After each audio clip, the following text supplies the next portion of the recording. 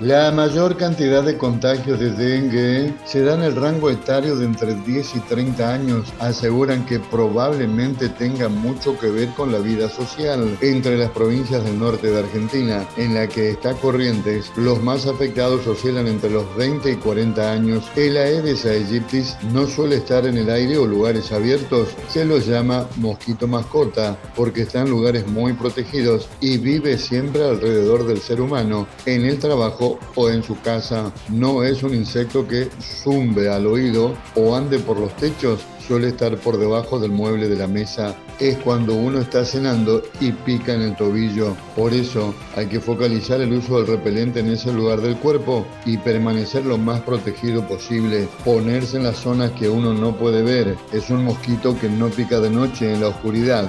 Lo hace habitualmente a la mañana entre el amanecer, media mañana o el atardecer. El horario tremendo es entre las 5 y las 21, donde tiene la costumbre de volar y picar. Hoy la enfermedad ya afectó a más de 105 mil personas en el país. En las últimas horas, una mujer murió por dengue en Bellavista, tenía 33 años, había ingresado al hospital de esa localidad el viernes y durante la madrugada de este miércoles el cuadro de la enfermedad se complicó. La llevaron a terapia intensiva donde lamentablemente falleció.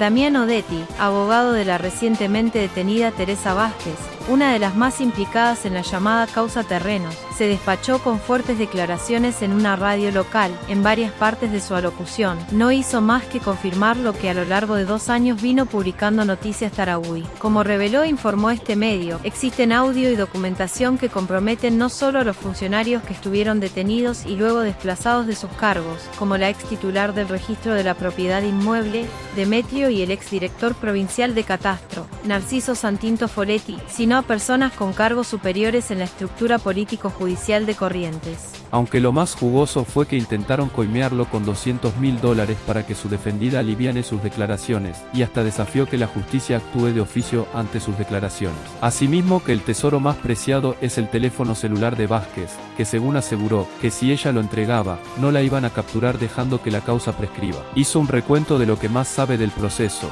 o por lo menos de lo que siempre publicó Noticias Tarahui, aquello de sentencias falsas, como prescripciones adquisitivas armadas nada nuevo en el horizonte. Además insinuó que anteriores representantes legales de la que se supo, es martillera y no una falsa escribana, cobraron dinero para apartarse de la causa. Aseveró que el ahora jubilado fiscal Gustavo Schmidt, si no es uno de los cabecillas de la asociación ilícita que se apropiaba ilegalmente de terrenos, por lo menos fue el armador del negocio. También sostuvo que no sería una sola asociación ilícita que se quedaba con terrenos ajenos e insiste en que la causa pertenece al fuero federal, donde el año pasado presentaron denuncias con pruebas e inexplicablemente el juez Juan Carlos Vallejos giró las actuaciones a la justicia provincial. Nunca dijo o no le preguntaron cuáles son los argumentos o delitos para que el proceso sea competencia del Poder Judicial de la Nación. Podetti posiblemente estarán corrientes la próxima semana.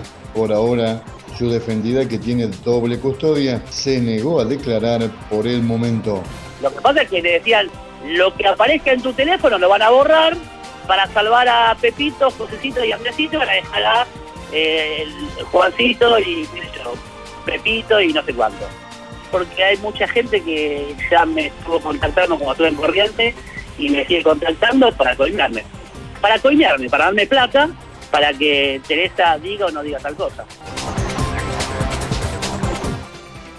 Mientras desde el gobierno nacional enmendaron lo que remarcó el presidente Javier Milei en el IEFA Latam Forum, que caerían 70.000 contratos, aquí en realidad esa cantidad está en revisión.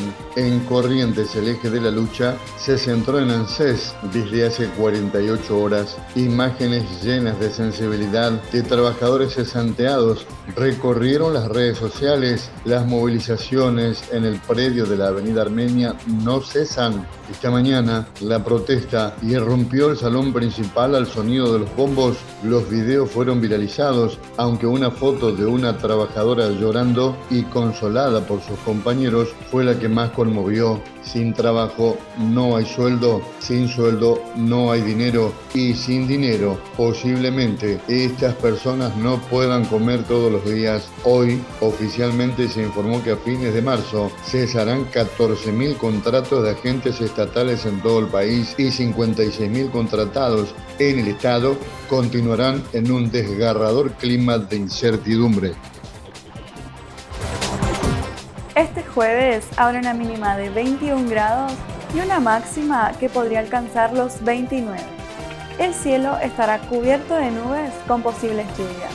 Clima inestable en la ciudad de Corrientes. Este sábado 6 de abril, Mega Moda 2024 en Tampa Disco, con más de 20 modelos en pasarela, calidad y profesionalismo. Además, música, canto y danza. El mayor evento de moda de Corrientes, no te lo podés perder.